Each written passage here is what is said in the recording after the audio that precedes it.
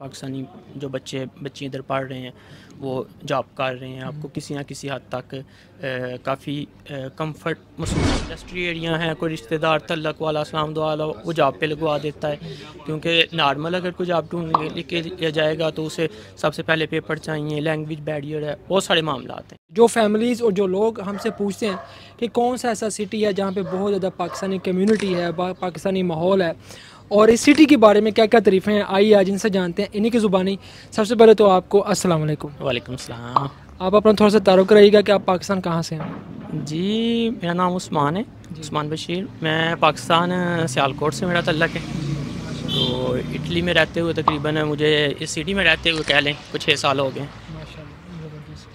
आपका? इम्तियाज़ अक्रम नाम है मेरा। आप कहाँ से सियालकोट से पसरूर से। पसरूर से। माशाल्लाह यहाँ पे जितनी भी पर्सनैलिटी हैं सारी पाकिस्तान सियालकोट से ही हैं। मैं खुद भी सियालकोट से हूँ। तो आप ये बताएँ कि यहाँ पे रहते हुए ब्रेशिया के अंदर कैसा माहौल है? यहाँ पे इन्वायरमेंट कैसा है? इन्वायरमेंट आप इसको मिनी पाकिस्तान भी कह सकते हैं। क्योंकि वैसे तो यूरोप के अंदर रहने के लिए आपको पूरे यूरोप में सबसे बेस्ट जो है ना वो मेरे ख्याल से कि अगर आप पाकिस्तान के माहौल को मिस करते हैं या चाहते हैं पाकिस्तान की एनवायरनमेंट की तरह किसी मुल्क में रहें तो वो इटली है। तो इटली के बाद ये ब्रेशिया जो सिटी है इसको मिनी पाकिस्तान भी कहा जाता है। इसकी सियासत के अंदर इसकी सकाफ़त के अंदर इसकी सारी हर शोबे के अंदर पाकिस्तानी लोगों की इन्वायरमेंट बहुत ज़्यादा है। पाकिस्तानियों के इन्वॉलमेंट जो है वो बहुत ज़्यादा है। इधर सियासत में भी हैं पाकिस्तानी लोग, बाकी जितने भी शोबा है, ज़िंदगी हैं, इनके दफातर हैं, वहाँ तक भी पाकिस्तानी जो बच्चे बच्चे इधर पढ़ रहे हैं, वो जॉब कर रहे हैं। आपको किसी ना किसी हद तक काफ़ी कंफर्ट महसूस होता है। यहाँ पे इस ब्रेशिया सिटी के अंदर जहाँ हम बैठे हुए हैं आप ये बताएँ कि यहाँ पे पाकिस्तानी फैमिलीज़ कितनी ज़्यादा हैं? क्योंकि लोग बताते हैं कि जी ये जो सिटी है ये ऑलमोस्ट सारे जो ना पाकिस्तानी कम्युनिटी और इंडियन और ये लोग सब यहाँ पर मतलब ऐसा लगता है कि ये इटालियन लोगों का शहर नहीं है ये हम लोगों का शहर है। बस इसी तरह है आप कह लें कि अगर ये साथ बैक साइड पे जो इस शहर का चैंतरो है वो है आप उस चैंतरों में चली जाएँ आपको फिफ्टी परसेंट से ज़्यादा लोग गैर मुल्की मिलेंगे। गैर दुकानें भी अपनी बिल्कुल ये रेस्टोरेंट दुकानें मतलब क्या जो ज़रूरती ज़िंदगी की चीज़ें आपको पाकिस्तान से मिलती हैं ना वो सारी इधर से आपको आ, हर वक्त मैसर होंगी। तो 50 परसेंट से ज़्यादा लोग गैर मुल्की हैं। अटालियन आपको 50 परसेंट से कम लोग नज़र आएँगे। गैर मुल्कियों में पाकिस्तानी इंडियन बांग्लादेश बाकी ममालिक के लोग भी शामिल हैं। जो स्कूल का सिस्टम है यहाँ पे स्कूल का क्या सिस्टम अगर बच्चों को पढ़ाना हो तो वहाँ पे अपने स्कूल भी हैं यहाँ पे या इस्लामिक तालीम देने के लिए जो कहते हैं कि उसके लिए क्या सिस्टम है अपने बच्चों को? आ, स्कूल में तो अभी तक नहीं है लेकिन ये लास्ट हमारे इधर एक काउंसलर बने हैं। वो उनका कहना ये है वो इस मैनुफैक्ट के साथ आए थे कि मैं अगर जीत गया तो मैं स्कूलों के अंदर एक जो पीरियड है बच्चों का टाइम वो मैं मज़हब के हवाले से या अपने कल्चर के हवाले से उसके लिए मुख्त किया जाएगा, लेकिन वो खैर अभी प्रोसेस में है। लेकिन इसके अलावा इस्लामी मराकज़ इधर मौजूद हैं, मसाजद मौजूद हैं।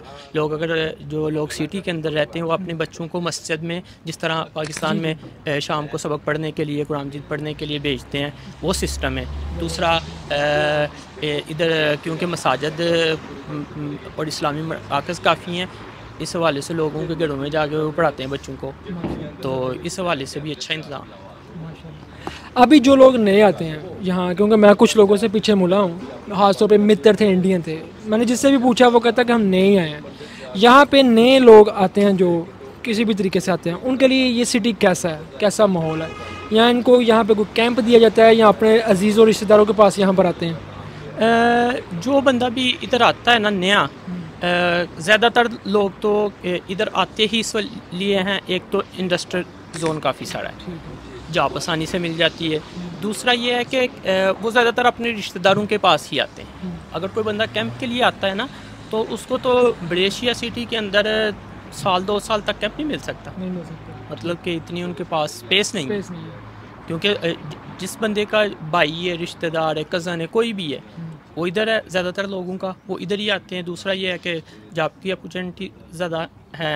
इंडस्ट्री एरिया है कोई रिश्तेदार तलक वाला सलाम वाला वो जॉब पे लगवा देता है। क्योंकि नॉर्मल अगर कोई जॉब ढूंढ लेके जाएगा तो उसे सबसे पहले पेपर चाहिए लैंग्वेज बैरियर है बहुत सारे मामला आते हैं।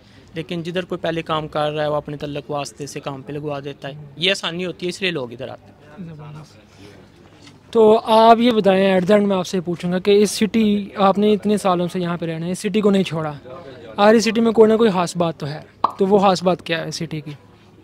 मुझे जो सबसे ख़ास बात लगती है ना इस सिटी में रहते हुए बंदा पाकिस्तान को ज़्यादा मिस नहीं करता। मतलब कि कोई त्यौहार हो, कोई फेस्ता हो ईद का त्यौहार ले लें, आप बाहर निकलेंगे, आपको अपने लोग ईद की नमाज़ ईद गाँव में पढ़ी जा रही है, आप दोस्तों से मिल रहे हैं। इसके अलावा भी कोई भी हमारे कौमी त्यौहार हों, चौदह अगस्त हो गया, बाकी चीज़ें जो भी हो ना, वो सारी चीज़ें आपको इधर मिल जाती हैं। पाकिस्तानी फ़ूड मिलता है मतलब कि हर चीज़ मेरे ख्याल से इधर एक जो अच्छी चीज़ है वो ये भी है कि लोगों के पास एक दूसरे के लिए वक्त है। जो सबसे अहम चीज़ है कि यूरोप में ए, लोगों के पास लोगों के लिए वक्त नहीं है कि दोस्त बैठ के गप्पे शप्पे लगाएँ खाने खाएँ इकट्ठे बैठ के आउटिंग करें। ये सारी चीज़ें बाकी ममालिक मैंने विज़िट किया है जर्मन चले जाएँ स्विस चले जाएँ बाकी फ्रांस वगैरह। ये चीज़ें काम में हर बंदा अपनी जॉब में एक मशीनी लाइफ में चल रहा है। लेकिन इधर इस सिटी के अंदर कह लें या इटली के अंदर कह लें ये इस हवाले से काफ़ी अच्छा माहौल। तो दोस्तों, ये था आज का व्लॉग जिसके अंदर हमने आपको ब्रेशिया सिटी का विज़िट करवाया और मिलान मतलब इसका जो चैंत्र है और जितनी भी जगह हैं वो सारी घुमाई हैं। और भाई से आपको पूछ के बताया कि इस सिटी का क्या इन्वामेंट क्या है? और आप लोग बखूबी इस चीज़ से अंदाज़ा कर चुके होंगे कि अगर फैमिलीज़ में से कोई लोग आना चाहते हैं, अगर किसी का कोई है तो ये ब्रेशिया सिटी सबसे ज़बरदस्त है। बहुत अच्छा माहौल है। और मैं कहता हूँ, कमाल जगह है। यहाँ पे ऐसा ही लगता है जैसे अपने लोग यहाँ पे बैठे हुए हैं। वेल ये थी एक छोटी सी वीडियो दुआ में याद रखिएगा। मिलते हैं हम आपको फिर किसी वीडियो में। तब तक हमें दें इजाज़त। अल्लाह हाफिज़।